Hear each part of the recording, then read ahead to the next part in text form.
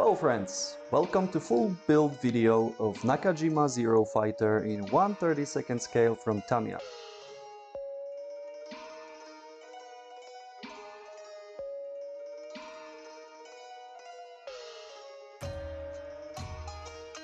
The kit has all you need to build very nice and detailed model.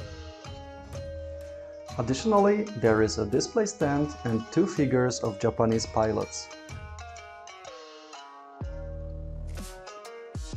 Apart from excellent molded plastic, there are photo-etched parts, seat belts, rubber tires and brake hoses, canopy masks, metal gun barrels and pitot tube, and many more.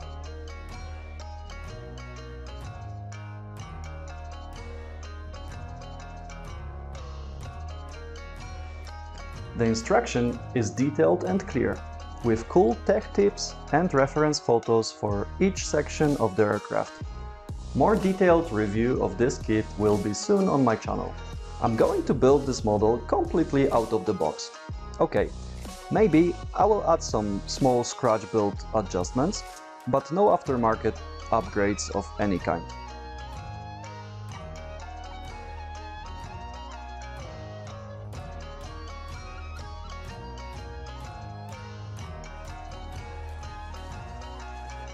I start following the instruction from fuselage and interior assembly. All elements fit just perfectly and after the black primer I paint it with colors suggested in the instruction.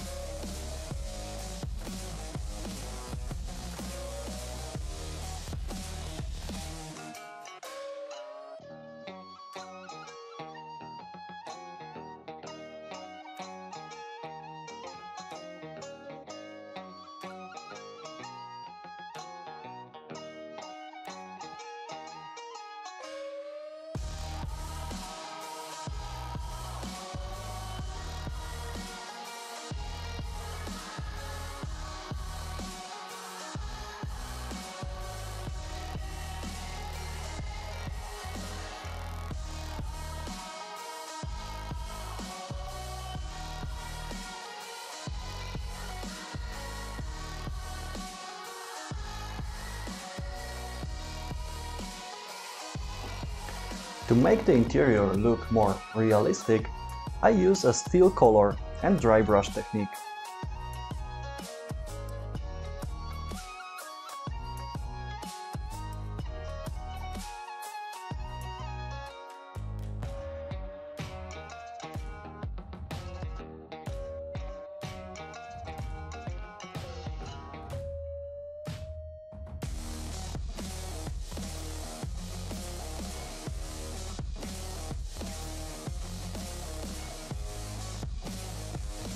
Chipping on the pilot seat is imitated with an old sponge.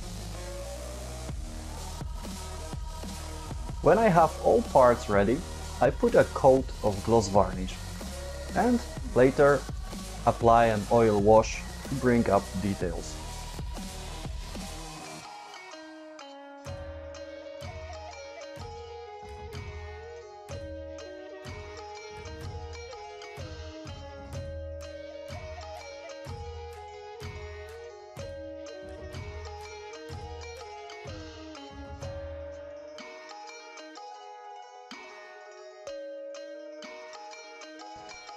Using reference pictures from the instruction, I add few wires.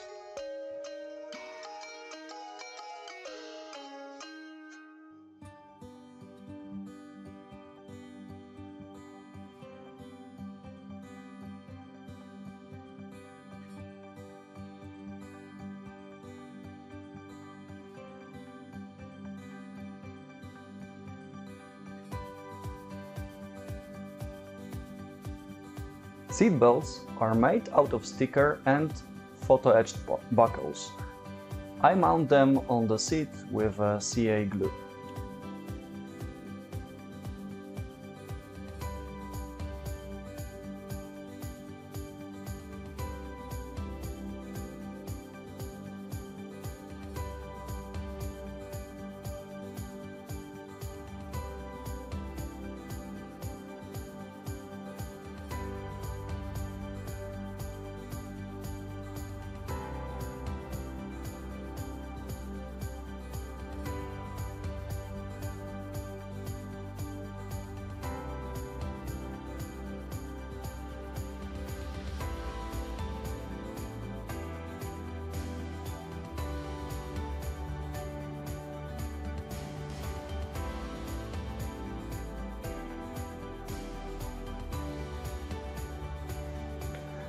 Sides of the interior, the back with a pilot seat and the instrument panel fits with no issues and I glue them right away.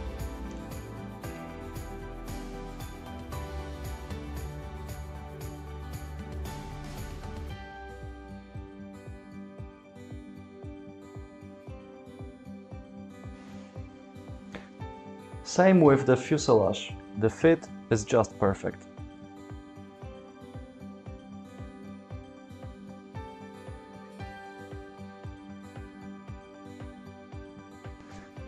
Time to join the two pieces together. The pilot's office goes in easy and smooth.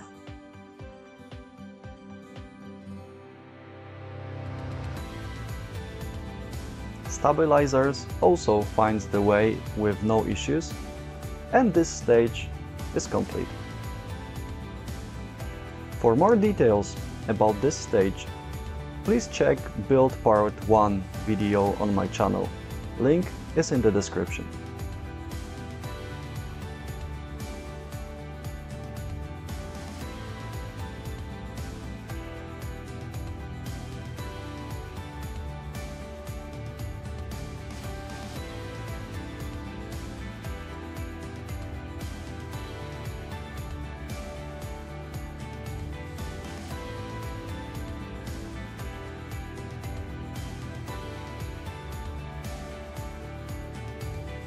Landing gear covers have metal elements that move.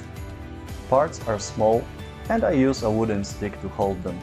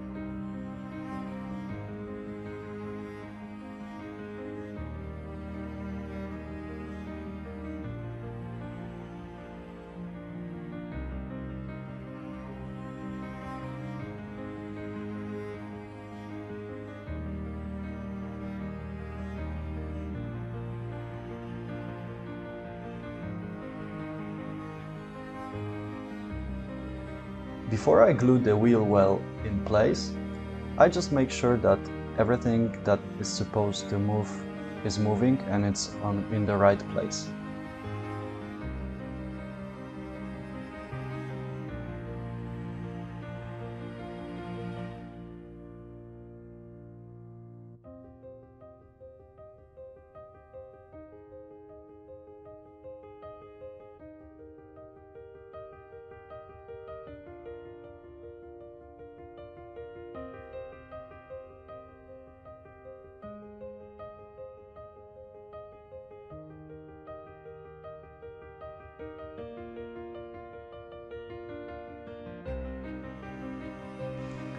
Joining these two elements, I mean fuselage and wings, was never that easy. It just click on the place. For some parts that move the spe a special grease is provided, like here for this landing gear, the shock absorber will be working like a real thing.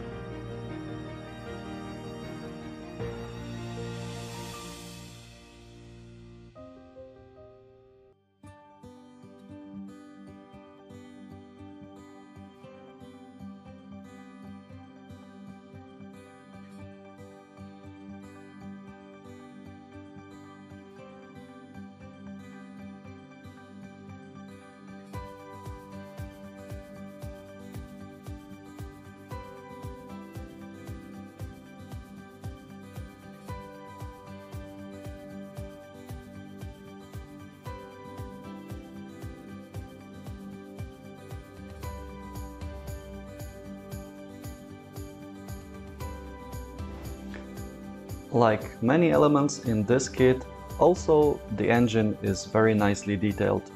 I glue cylinders together and prime all parts.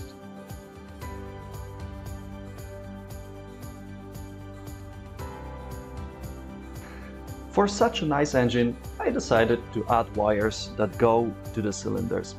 I know it will not be visible or barely visible, but I always wanted to try. For this, I use 0.1 mm copper wire and CA glue.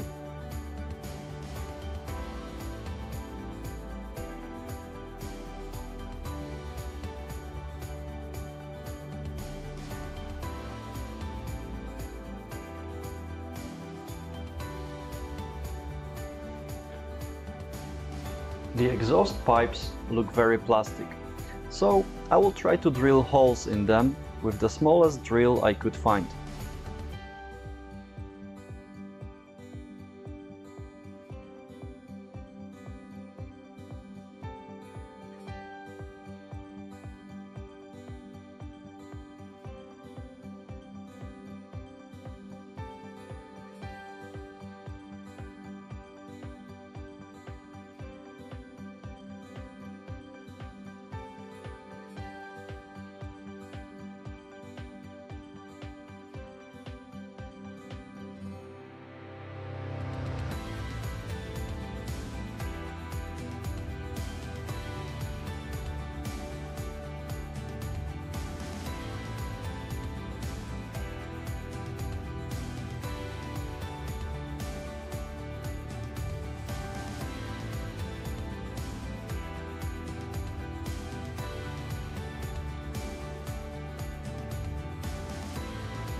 I'll add rust effect on the exhausts. You can see how I make the rust on the channel, link is in the description.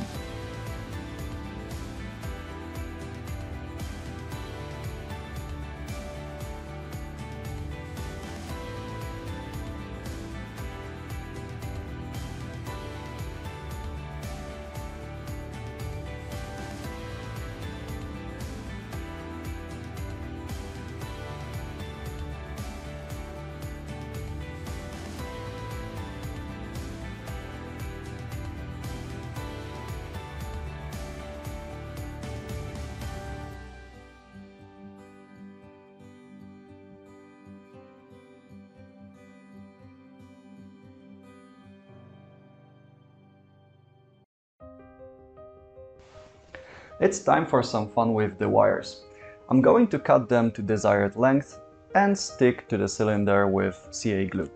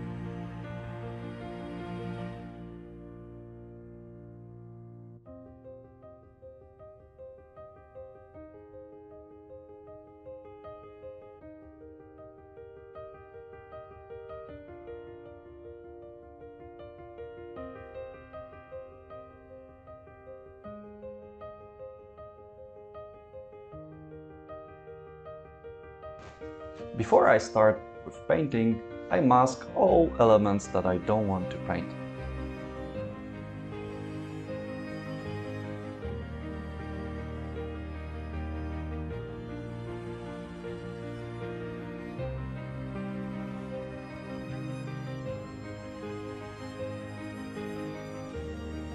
I clean the model to degrease it and remove dust.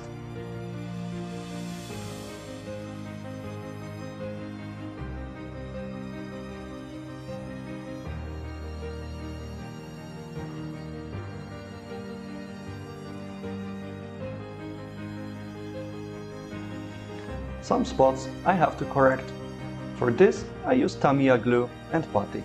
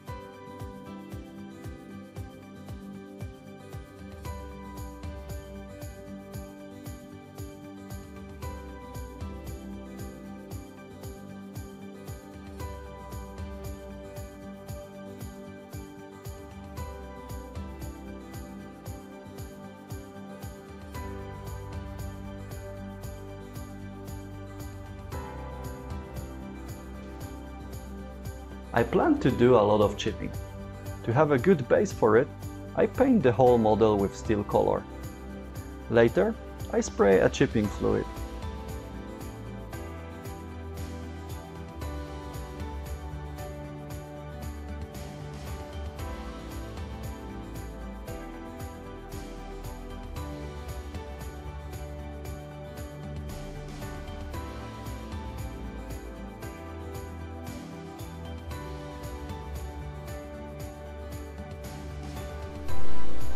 Tamiya suggests to paint wheel wells in blue. However, this color was used only by Nakajima factory. For Mitsubishi aircraft, they use the same gray color that they paint the underside of the, of the plane. So this is important later when we need to choose the painting version of our model. The main paints indicated on the instruction AS2 for gray and AS21 for green are spray colors. I tried to find match for them using Hobby Color Converter application and here is where this app fails. It showed me that XF70 and XF27 will be a good match for AS21. When I compared these two, the app shows 100% match and because I had XF27 already, I decided to use it. That was a mistake. As you can see, these two colors are totally different, so well, you'll see in the video later how I correct that. But overall, I found it all very confusing, but luckily there is a great help provided by James Lansdale and Nick Millman before you decide what paint to use, visit this website to find information. Okay, enough about colors, let's go back to work. I start from the bottom of the model, I paint slowly, panel by panel,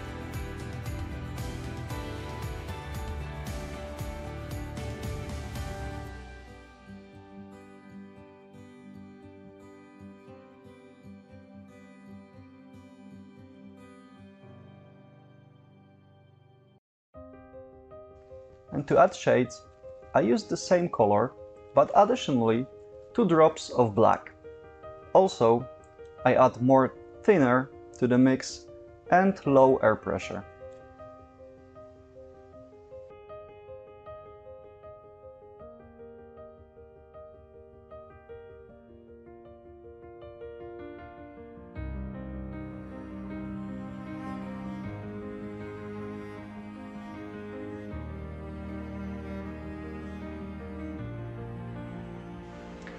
Highlights, I add with the same color mix, but instead of 4 I add 6 or 7 drops of white.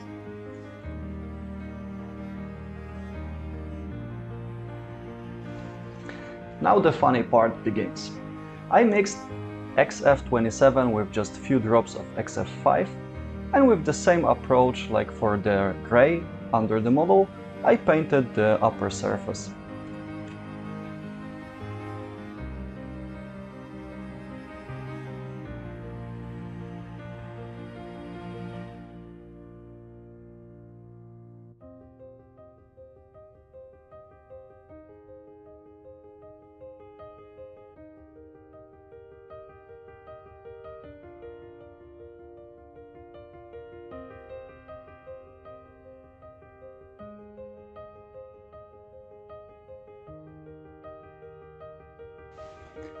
Hinomaru, I decided to paint for better effect. To make the mask, I use masking tape and circle cutter. First, I place the circle to position the mask, and when I think it's on the right spot, I add mask. And, of course, remove the circle.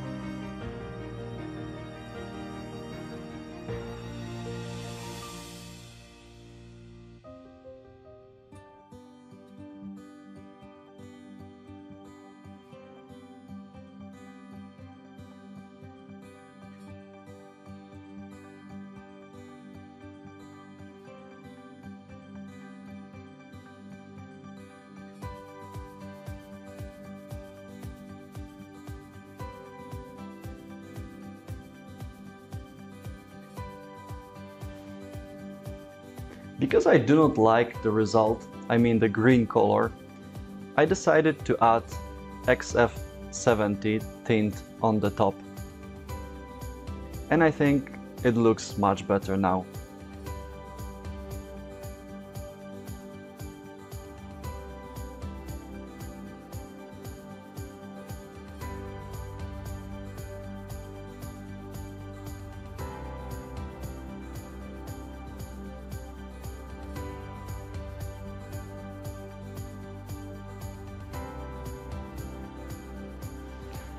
Decals for yellow stripes, but I will paint them as well.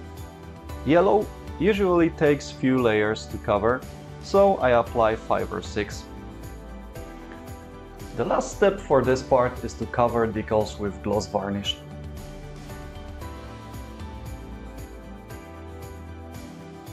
With this step, I think the paint phase is done. Let's see how it all look together.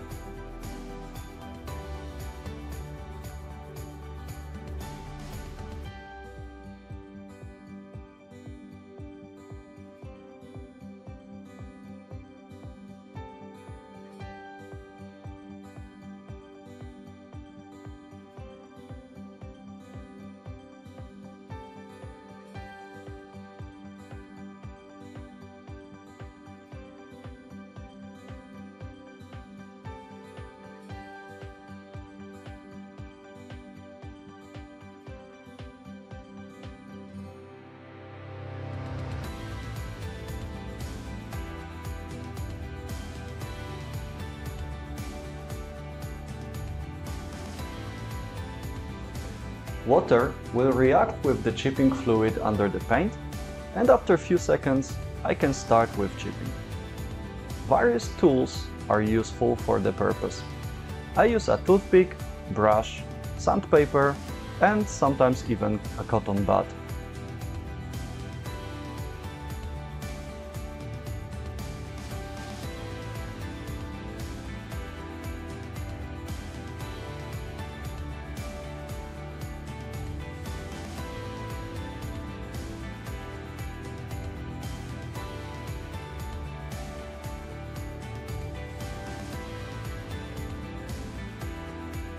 Some people say there is no way to overweather a zero.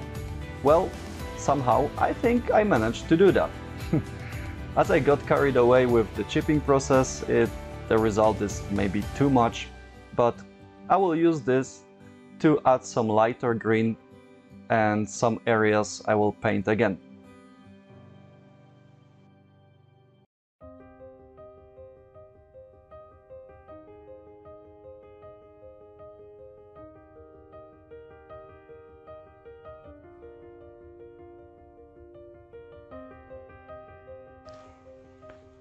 Before I start with decals, I prepare the surface with gloss varnish. First, I add a light coat that I leave for about 30 minutes and when it's dry, I apply a wet coat. I leave it for the night and later I use 5000 grit sandpaper to smooth the surface.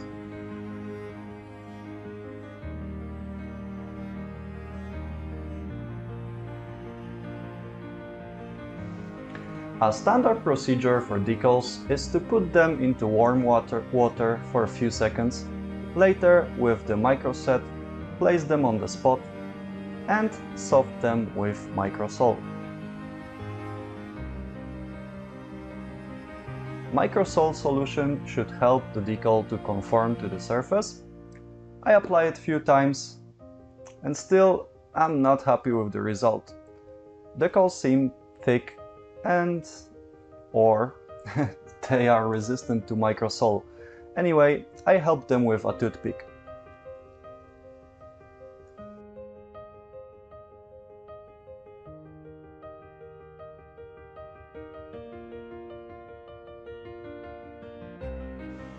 On the spots where I removed paint, I also removed the decal.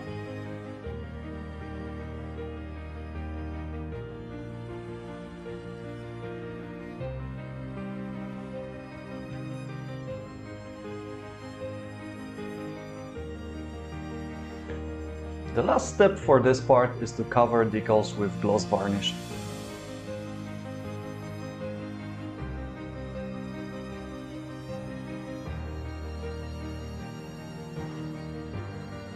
To underline panel lines and rivets, I use an oil wash.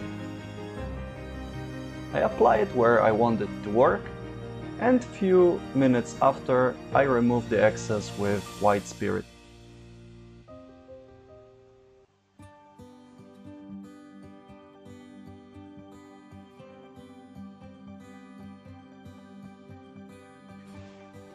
The difference is barely visible on this dark green, but on the brighter color it is much more pronounced.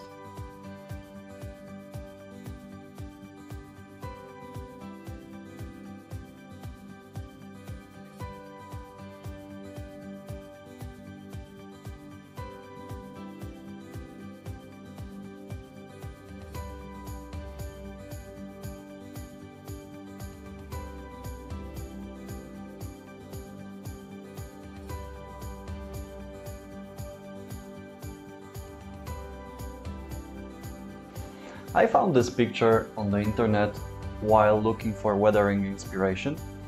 I will try to replicate the effect with oil paints.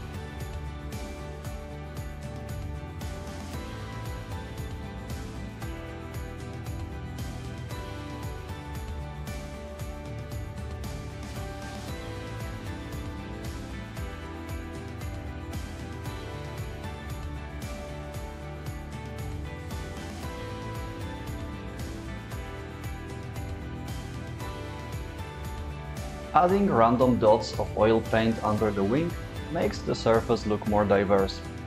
I use a white spirit to blend them in.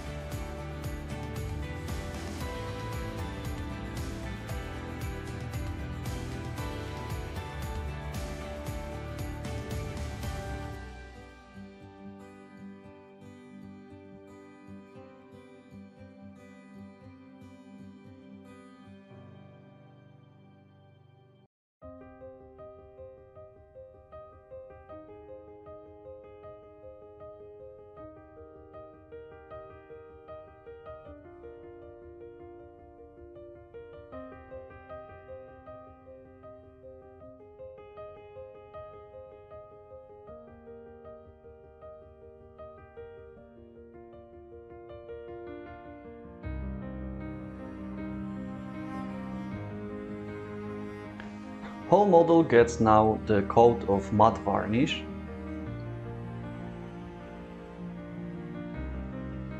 And I start the most satisfying part of the job, which is peeling off the canopy mask and revealing what's inside.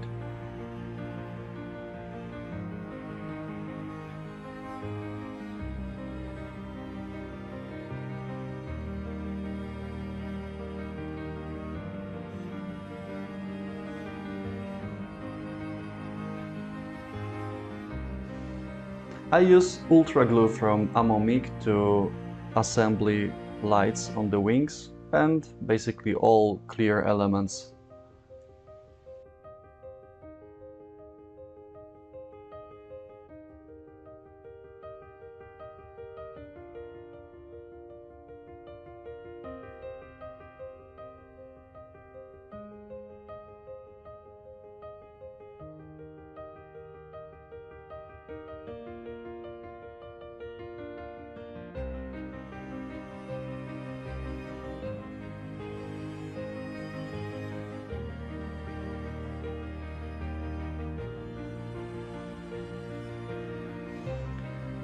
metal antenna wire is included in the kit, but it seems too thick for me, uh, so I replace it with the rigging from Ammo Mig.